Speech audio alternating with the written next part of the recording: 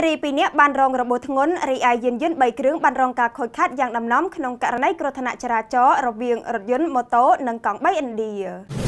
បរោះនារី2នាក់បានរងរបួសធ្ងន់ឯយានយន្តចំនួន3គ្រឿងបានរងការខូចខាតយ៉ាងដំណំក្នុងករណីគ្រោះថ្នាក់ចរាចរណ៍រវាងរថយន្តកង់3ឥណ្ឌានិងម៉ូតូហេតុការណ៍នេះបានកើតឡើងនៅវេលាម៉ោង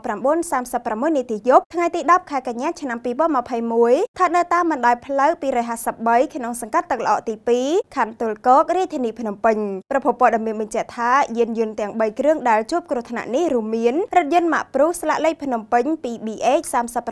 3635បើកបរដោយបរិះម្នាក់ក្នុងទិសដៅពីត្បូងទៅជើងកង់3ឥណ្ឌាស្លាកលេខភ្នំពេញ 1IH 4535បើកបរដោយបរិះម្នាក់បានធ្វើដំណើរចេញពីការ៉ាឡានបត់ឡើងទៅស្ដាមសម្ដៅមកផ្លូវ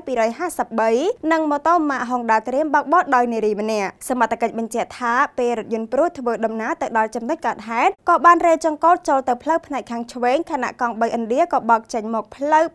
253ស្រាប់តែរថយន្តក៏បានបុកកង់3ឥណ្ឌាពេញទំហឹងហើយកង់3ឥណ្ឌាក៏បានខ្ទាតទៅប៉ះម៉ូតូ Honda Dream មួយគ្រឿងទៀតបណ្ដាលឲ្យនារីជាម្ចាស់ម៉ូតូនិងបុរសជាម្ចាស់កង់3ឥណ្ឌារងរបួសធ្ងន់ខណៈយានយន្តទាំង3គ្រឿងបានរងការខូចខាតយ៉ាងដំណំក្រោយពេលកើតហេតុសមត្ថកិច្ចមូលដ្ឋាននិងសមត្ថកិច្ចជំនាញចរាចរណ៍បានចុះត្រួតពិនិត្យនិងវាស់វែងរួចបញ្ជូនជនរងគ្រោះទាំងពីរនាក់ទៅសង្គ្រោះបន្ទាន់នៅមន្ទីរពេទ្យហើយបានឃាត់ម្ចាស់រថយន្តព្រុសដើម្បីធ្វើការសាកសួរនិងដោះស្រាយបន្តនៅពេលក្រោយពីនេះខ្ញុំស្រីនុត The Time News